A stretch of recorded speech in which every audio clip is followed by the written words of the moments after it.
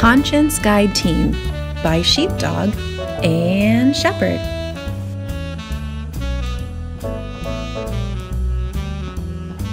Conscience Guide Team 3.9 Conscience, Individual and Institutional. Hey, Shepherd, what exceeds the number of flies on a cow pie in July? The answer, my fuzzy friend, is the number of people in the news media that have been terminated for sexual harassment and other types of misconduct. The never ending saga of television news anchors and talk show hosts being forced to resign provides us with a splendid opportunity to address individual and institutional conscience. When an individual habitually engages in conduct that violates their innate moral code, their conscience becomes seared and is no longer able to function in terms of warning the individual against what is wrong and urging the individual to do what is right. When an institution habitually turns a blind eye to individual misconduct. It violates its moral code and sears the institutional conscience.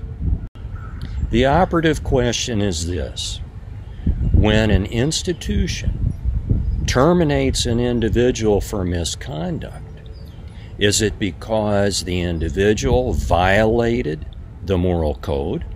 Or is it because the conduct became public and threatened corporate sponsorship?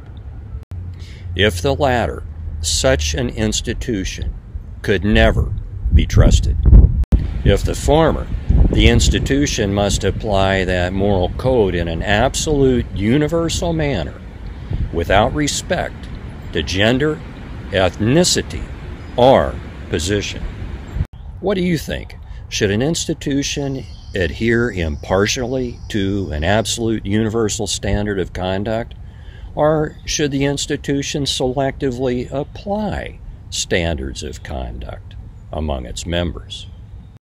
Would you be able to trust an institution that selectively applies standards of conduct among its members based upon who an individual is or upon corporate sponsorship?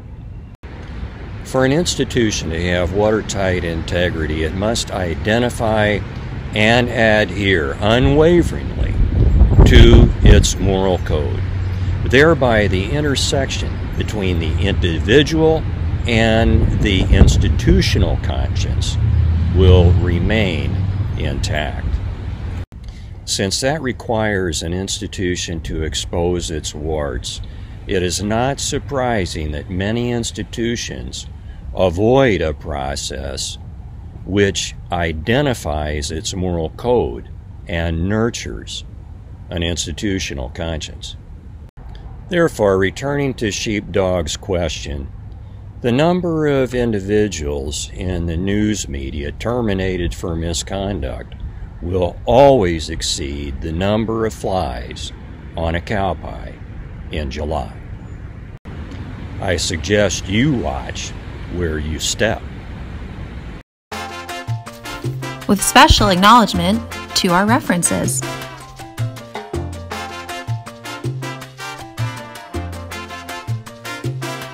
Thank you for watching our presentation on matters pertaining to conscience.